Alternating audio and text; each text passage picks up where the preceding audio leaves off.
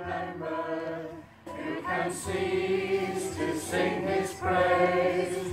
He can never be forgotten throughout hell's eternal days. On the mount of crucifixion, fountains open deep and wide, through the floodgates of God's mercy, flow the vast and gracious tide. Grace and love.